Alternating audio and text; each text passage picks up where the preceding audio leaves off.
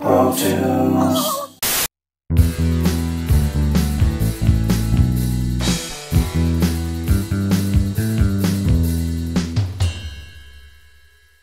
what's up out there? Coming at you from Southern Ontario, and what this is is episode 2 of the mystery character game. So what we're going to do right now is we're going to roll you the rule video so you guys can understand what's going on here. So, here we go. Okay, so how this game works is we will pick suggestions out of a hat, and each hat is going to have something different. For instance, one hat will have the gender of the character. Maybe it's a male, maybe it's a female.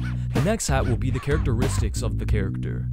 It could be an animal, maybe it's an alien, or even a robot, or maybe it's human.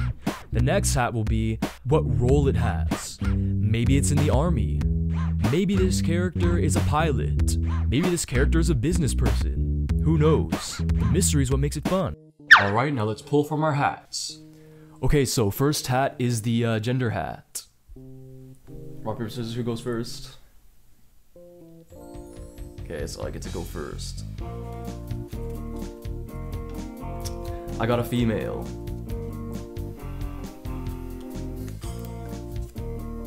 I got a male. Okay, so that's for the gender hat. Now the next hat will be what species it is. Could be an animal, could be a human, or could be neither of them. So let's see what I get. Okay, so I got a human. I got a human also. Okay. Okay, now last hat. Last hat is its occupation or characteristics. So, um, I gotta go first again, I guess. Got a futuristic agent. Extreme sports athlete. Okay, we got a human, but at least we got, like, you know, something rather uh, interesting for our, um, characteristics and all that stuff. So now what we're gonna do is we're gonna have to mix all three of those things, and we're gonna incorporate all those into our drawing here. Alright, let's try to make something fun out of these. Okay, so the smart thing to do first is to look up some references, so that's what I'm gonna do. And again, I'm just gonna do it.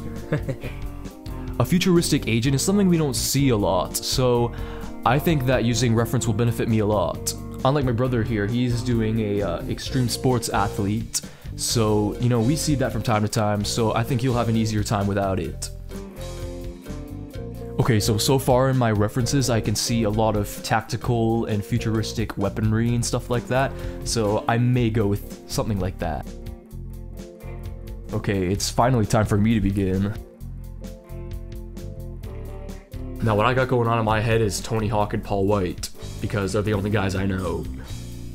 Actually, that's not true. I know a couple of other skateboarders, but that's it. Now, I used to play a lot of Tony Hawk as a kid on for video games, and there's a lot of extreme skateboarding stuff on that with exaggerated jumps. There's one game where you actually fly through the Hollywood sign. I believe you fly out of the O. If you go through a cave, you fly out of the O, and you can do all these crazy tricks. It was nuts. Playing the Tony Hawk games is a big part of my childhood, and it's too bad that the latest one didn't do so hot.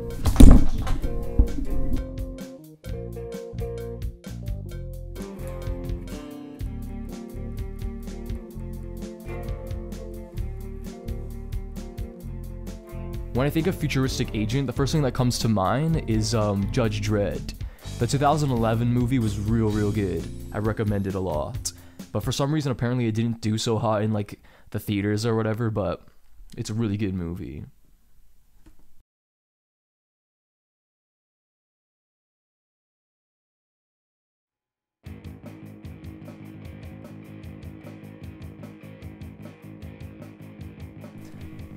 I think this time I'm gonna try doing a little less stylized, like last episode. I think this time I'm gonna do something a little more realistic. And it's taking more of an effort because, of course, it's a human, and um, it's also a female. And I find for females, I have a little bit more of a hard time with. I guess it's because I drew males a lot more growing up, especially because I was a big fan of um, Batman and a lot of these DC and Marvel characters that were males, and um, I guess that's why I have a lot of practice drawing males. Also, um, I also have a large history of drawing professional wrestlers, so male anatomy is something I'm a little more used to. but I'm actually quite excited that I'm drawing a female right now. Getting that practice in, I guess. Any of you guys seen Suicide Squad yet? I personally liked it a lot. A lot of people give it hate for some reason. Um, I really don't think it deserves all that hate, to be honest. Um, there is a couple things that, you know, don't really make that much sense, but, you know, I think it's kind of forgivable. I lost myself in it, basically, is what I'm trying to say, and it's too bad that some people didn't.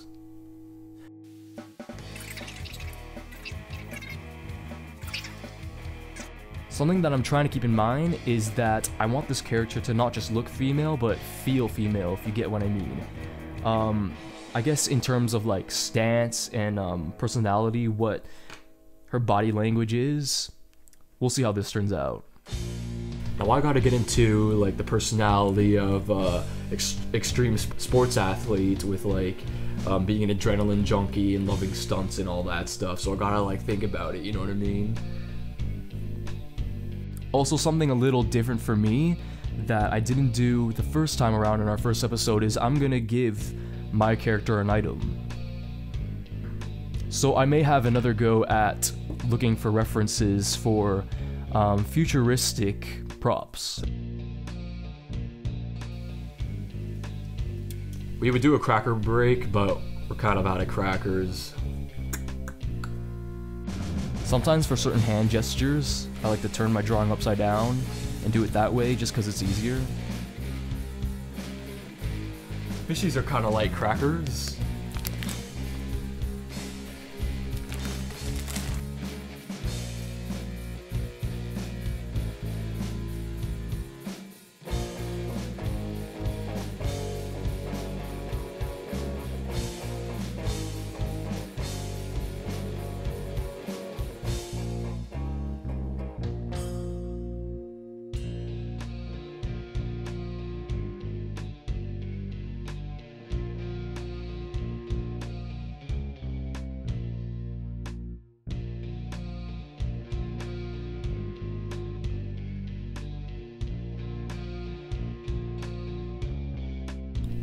You guys see this?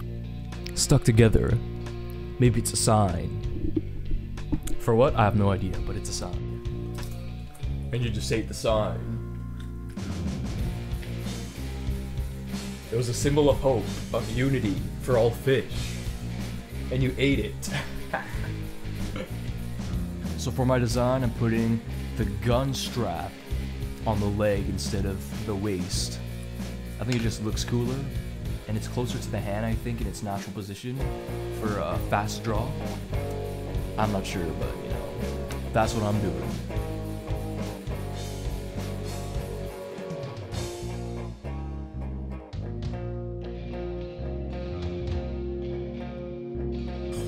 Quite often when we get um, secret agents, stuff like that, they usually look all proper and like nicely done up and stuff.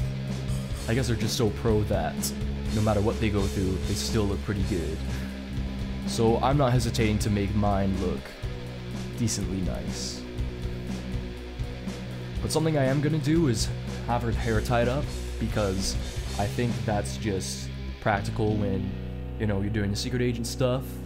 You don't want your hair to get into your face or get caught in anything, or maybe if you're in combat, someone's gonna grab your hair and that's just not fun. So, tied up hair is what I'm gonna do. So originally I was going to give my character a mask because I figured if she is a secret agent, she might want her identity concealed. But we get people like James Bond and the Mission Impossible dude, and they never wear a mask because that's just how they roll. And maybe that's how my character is. You know, she probably feels like no matter what occasion, she'll feel like she can take care of herself. So I guess that's what my character's going to be like.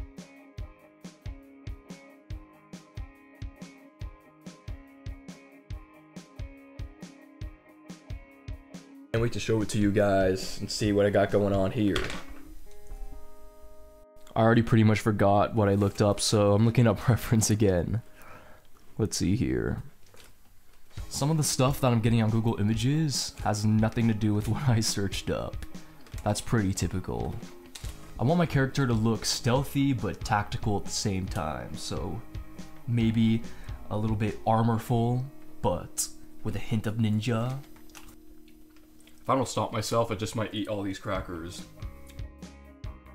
Something I'm not a fan of is morphed muscles in a suit. I just think it's kind of silly. And it's something that we see a lot in live action superhero movies because I guess if we look at the cartoon designs of the live action superheroes, you basically have their muscles just bulging out of their costumes, almost as if like their uniform was just painted on.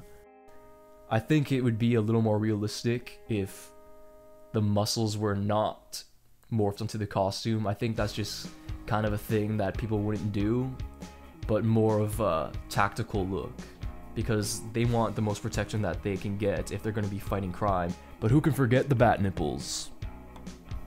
Ben Affleck in the new Batman movie has a new costume. It's pretty much the same, but how the muscles look and how they were morphed looks a little more armor looking, I guess, and I'm pleased with that. I'm more of a fan of if at least the muscles that are morphed onto the suit looks kind of like it's armor, like muscles but like a shell, if you get what I mean. That's okay with me, but when it's just straight up muscle, it's just like you could literally throw in a skinny guy in that and then there's just muscles on the suit, you know what I mean? Costumes that I'm really pleased with is um the costumes in the Arkham games. Um, those look really, really nice. I like the Batman Arkham Origins costume. That that costume is just perfect. See, Batman used to have his tidy whities outside of his costume where it was black. For that, they found a way around it to keep that shape around um, his pelvis area where it's black, but it's just a separation from his armor to some of the material that's holding it together, and it's just worked beautifully. And it had kind of like armor esque uh, um, covering on his uh, torso, and it just worked perfectly. Like that's my ideal Batman costume. Something that I like about the costumes is that it's not just spandex, but actually looks like um, a suit made for fighting, but they kept the same design. I raise my hand and I surrender. Cause your love is enough and I get you around me, yeah. Alright, pencils down. Let's show what we got. So, seeing as I went last time, I'm gonna let my brother go first. Alright, so here's my human extreme sports athlete, and he's a male. Alright, so I gave him longer hair to give him more of that edge, like rock star look. And uh, usually skaters like to wear their hair long. Um, I gave him a tooth necklace, because that's kind of an extreme type of thing, like swimming with sharks or surfing with sharks type of, type of thing. I put flames all over his uh, his uh, clothes, like his shirt and his helmet. It's kind of like your typical daredevil extreme type of thing where you you know jump through uh, hoops of fire type of thing which kind of brings up um, the whole extreme factor. I made him uh, shredding through snow so i gave him snowboard so he's uh, pulling off a sweet trick. And i put his tongue out like if he's enjoying himself and he's a little bit a little bit of a loose cannon. And um, i put stars all over his helmet just for fun. And um, on the edge of his board i put all kinds of stickers like if he just likes to collect stickers and put it on his board for personality. I also gave him a shirt instead of a coat because I feel like he's just that cool. He wouldn't wear a coat, he'd just wear some type of sweater or something like that. Um, I made his uh, helmet um, with the straps off just to give him like uh, kind of a carefree type of guy. And yeah, that's all I have to say for him. So this is my extreme sports athlete man, human. Okay, for my design, I had a human female who was a futuristic agent. So for me, I decided to give her a tactical outfit, a little bit armored, but I made sure that it looked like she can move around in her outfit and it's not all stiff and stuff like that. I gave her this futuristic weapon, which kind of looks like a club, but I drew it so it looks like it has multiple uses, Got a little taser at the top there. It's also um, a glow stick, and I guess you can beat people with it. Isn't that fun? I decided to make her costume a little bit busy because I feel like it's a little more interesting that way and a little more futuristic looking. I gave her kind of tight fitting clothes because I feel like for movement and stuff like that. Maybe it'd be more practical and something that we see a lot. So I gave her a utility belt because maybe if she's investigating something, she can put stuff in her pockets and stuff. And I gave her a logo to maybe represent um, who she's affiliated with. Maybe if um, somebody sees her and will be like, okay, I see that you're affiliated with this people, so I shouldn't mess with you, or okay, you're a part of the good guys, something like that. I gave her one of those futuristic glasses things just in case she needs to, I don't know, look through something or detect something, something like that. Face recognition, maybe even. After all, it is the future, according to what I got from the hat. You know, I can imagine that with all the futuristic technology and stuff like that, that probably crime would be a little more difficult to deal with if that kind of stuff gets into the wrong hands. So, this lady here has to be really prepared for that kind of stuff. Not gonna lie, her club is based off of a lightsaber. And to finish this off, I purposely made her not too tall because I feel like a lot of female characters are made super, super tall, especially the kind that are supposed to fight for themselves. So I didn't make her very, very tall. In fact, I kind of made her short. All in all, I designed her so that she looks like she's ready to kick some futuristic tail. Know what I'm saying? Hey, you know what, man? Maybe your character will be an unlockable character in a future SSX game. Shaun White, you better watch out, because this guy is coming for you. Oh, Nice bat. Wonder if she hits any home runs. yeah. Well, that's all we have for this episode. Just a couple of guys who love to make all kinds of art. If you want to see some of that art, please uh, subscribe to our YouTube channel. We have all kinds of stuff from music to sketches to little shorts to little stories.